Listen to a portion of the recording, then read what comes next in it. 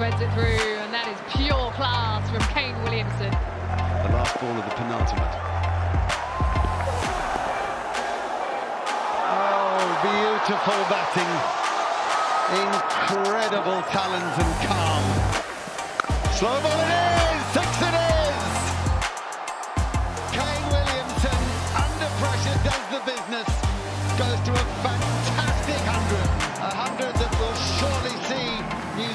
victory, his first World Cup 100.